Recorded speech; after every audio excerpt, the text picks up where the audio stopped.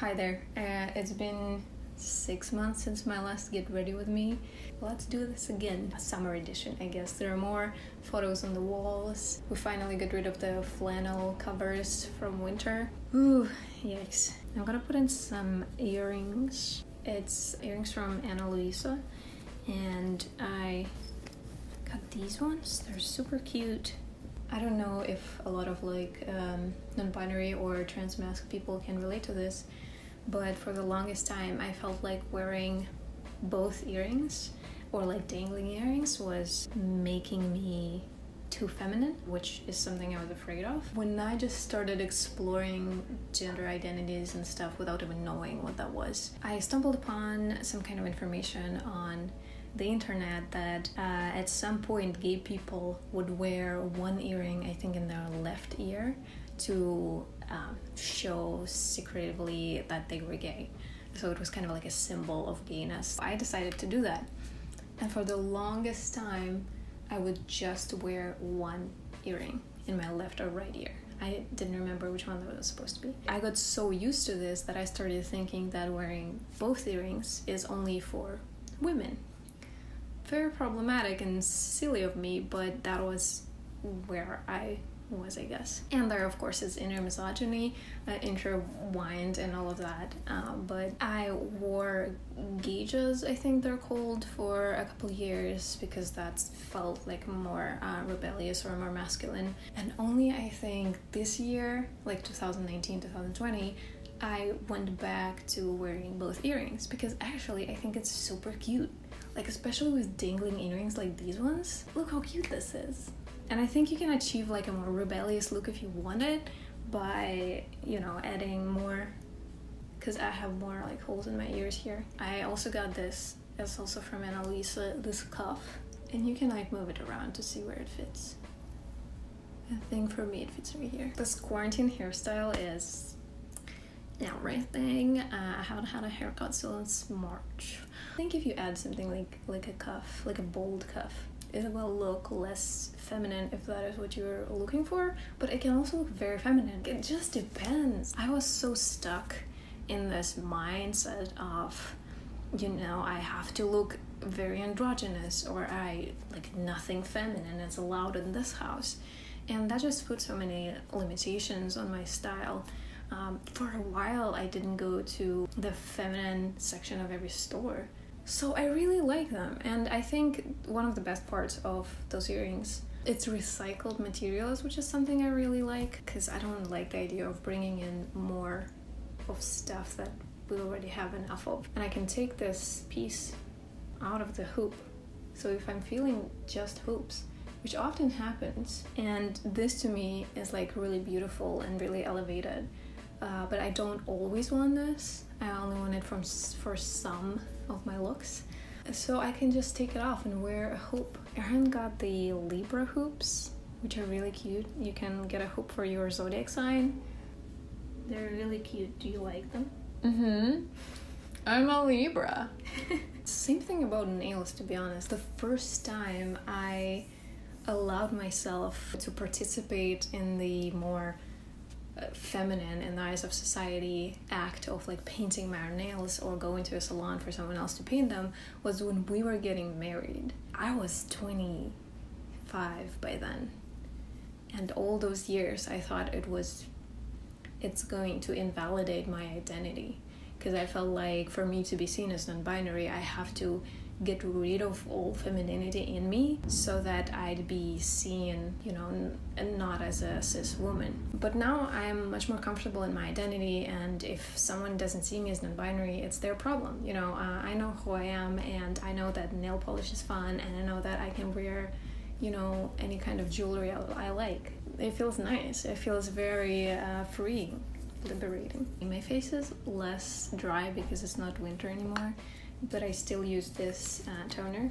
We're almost out of this one, and when we're out, I'm gonna use the um, I'm from Fig Boosting Essence instead of a toner. Klairs and I have a special relationship. I think I like filming Get Ready With Me because I don't need to get ready beforehand.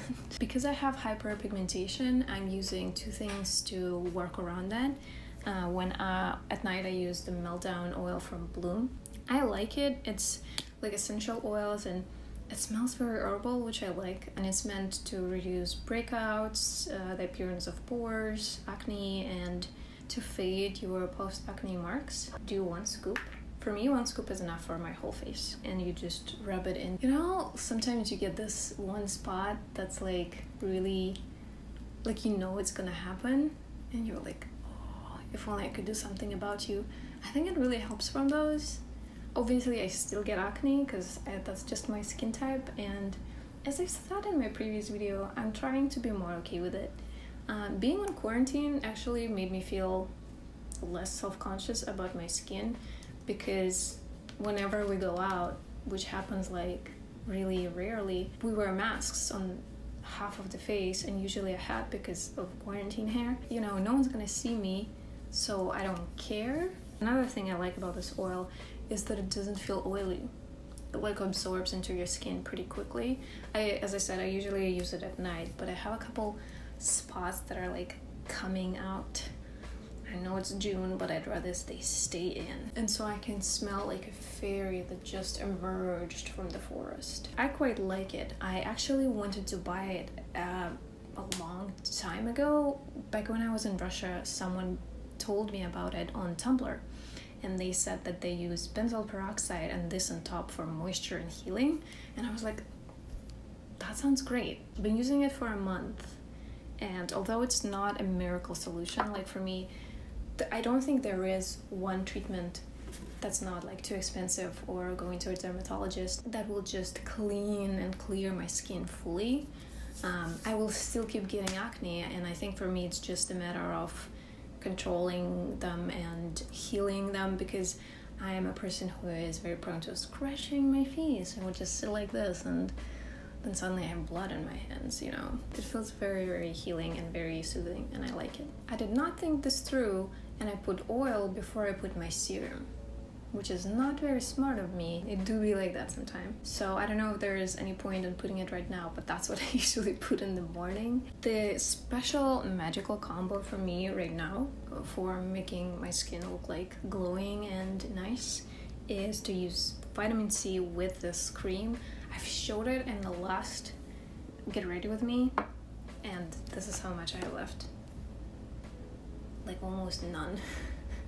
but it's just so good and I feel like we're gonna buy another bottle of this another jar because I think for me this is the best moisturizing cream I've ever tried. If you want like extra glow you can also put on top of this the ordinary squalane oil. Oh it just gives you such extra glow. It's just beautiful. Also my hands are extremely dry from the hand sanitizers and washing my hands all the time so I just have this huge bottle of all over lotion from Klairs.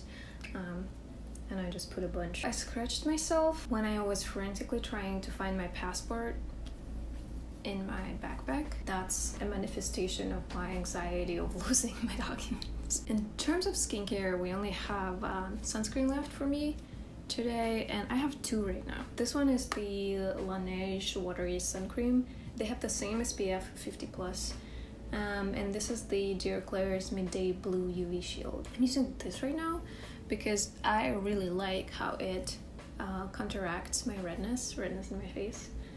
As you know, the redness under your nose is still not a trend. It doesn't leave a white cast, but it's naturally a little bit blue-ish. And it just calms down the redness on your face, which is something I really like. I will say this might be not the greatest option for people with very dry skin because at least it is a little drying. So for me, that's perfect because when it's summer, I get really oily and I get really sweaty. So for me, a little bit of a you know matte finish of a sunscreen is actually better. But I would not recommend it if you have a very dry skin type. Can you see? I don't know. If, I don't. I literally don't know if it shows on camera, but usually when I look in the mirror, my skin is a lot less red once I use it. So sunscreen done, skincare done. Um, as I said during quarantine, quarantine, quarantine, quarantine, quarantine. During quarantine, I started being a little less concerned about my makeup routine, so I'm literally just using the Klairs cushion instead of using the concealer because I don't know, I feel like I'm gonna wear a mask anyway. Also, who is she? Like, who who is she? Like, what is she doing here? Like, what's her story? Dip it in over here, kind of like would into a concealer. Um, and then I put it on spots instead of my whole face. And if I need to dip it again, I will. And then I take the cushion and I just dab it in. Yes, it is not the greatest coverage in the world, uh, in a sense that it's pretty transparent. Not transparent, obviously, there's some coverage, but it's mostly to balance out the skin tone rather than cover the blemishes and make like a super smooth canvas like some people do. Oh, there's a there's a little eyelash right here.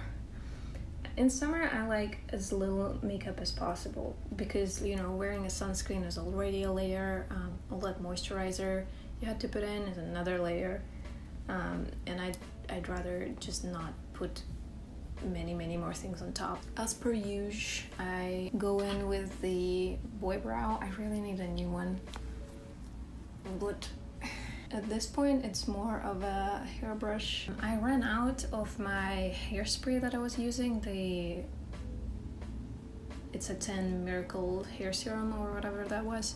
Um, I need something new. If you have any recommendations for like this type of hair, please let me know. It's like soft and it doesn't really hold any texture and it's pretty dry. The lighting keeps changing and there's nothing I can do about it, so we're just going to continue. I also want to smell nice in summer, so I'm gonna use this little roller that I've had for I think four years. it's the Jasmine roll-on perfume oil. I got it back in Moscow, so I just put it in places. I like to smell like tea. That is that is what I that is my goal to smell like a cup of good tea. I also recently got this deodorant from By Humankind and it's eucalyptus smell. Uh, this packaging. The only thing I have against it is that it's it takes five years to roll it out and in. And the thing is by with By Humankind is that I have their mouthwash and their deodorant and you buy the container one time and then you just buy refills. Now I can go to the post office now I can go to Trader Joe's. Actually, wait, um, this is the finished look. There we go. Aaron's mom made us these masks. Um, Aaron has a Star Wars one, and I have just a plain blue because I like simple colors. But yeah, that would be the finished look. If I leave you with a thought at the end of this video, I would like it to be be yourself. Recognize the stereotypes that the society and the culture puts on you. Explore the styles and explore jewelry and explore makeup and explore clothes. Your presentation is yours uniquely. So, me going from only wearing one earring in the left ear and being afraid of nail polish. I feel like there's definitely still a real long way ahead, and I'm still not 100% um, comfortable with myself and my, you know, body and other things, uh, and the way society uh, sees me. But I'm on my way, and every journey is different, and I'm proud of you for being you. Stay home and stay safe. Everything's gonna be okay.